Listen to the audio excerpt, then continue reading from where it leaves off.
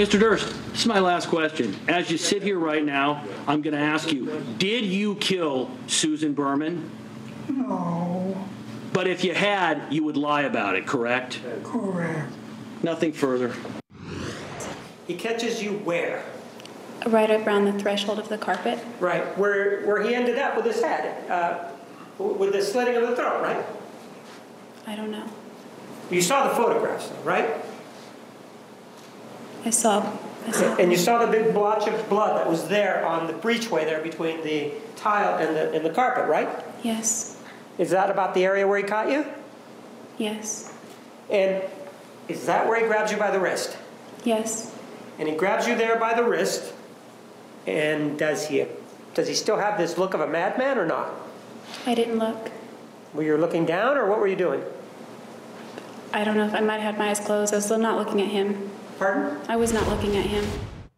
Two epic cross examinations. Nine days, nine days apiece of cross examination. Of course, we're talking about Robert Durst on the one hand, the trial you're watching here on Court TV, and Jodi Arias uh, a few moons ago uh, when she testified. But it was really much different, and it was handled differently by the two prosecutors John Lewin, who was prosecuting Robert Durst on the left, and Juan Martinez, who prosecuted Jodi Arias on the right. I would say John Lewin a little more conversational, Juan Martinez a little more confrontational. Um, definitely different tones, but both epic, long, record setting cross examinations. So I asked you, who was more effective, John or Juan?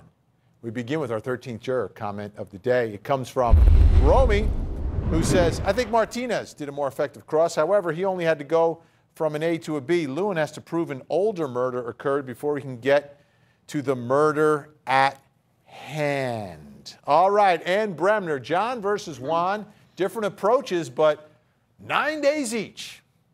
Right, I would say brothers from a different mother in some ways. I mean, it was basically form over substance. Both of them on substance were, you know, A plus. They know their cases. They're aggressive.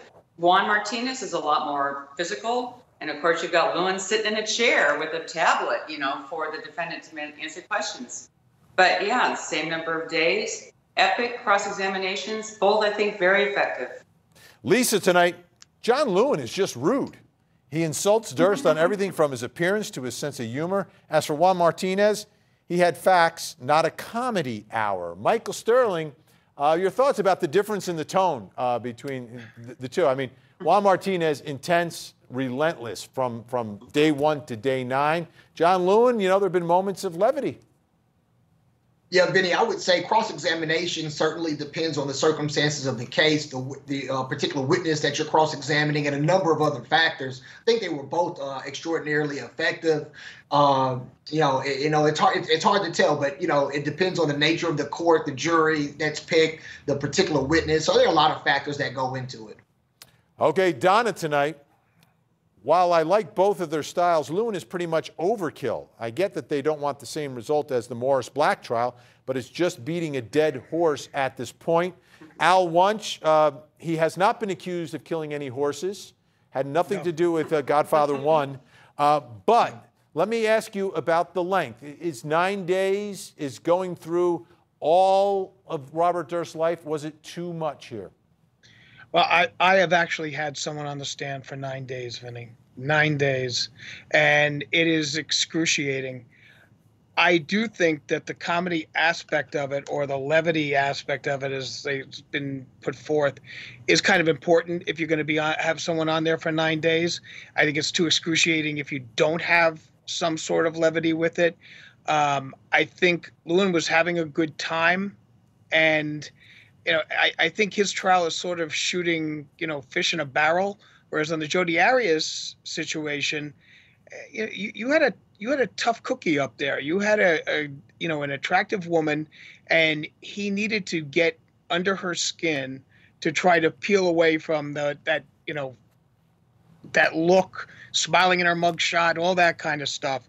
So I don't fault them for the nine days, and I don't fault Lewin for. I mean, there was a great part in the Durst thing where Durst said he was going to kill himself. He was going to put one gun to this hand, I one hear gun some to this music, hand, Al. You're out and of meet time. in the middle. You're out of time, Al. Al Wunsch, ladies and gentlemen, Michael Sterling and Bremner, thank you all so much. We've got much more straight ahead. Don't go away.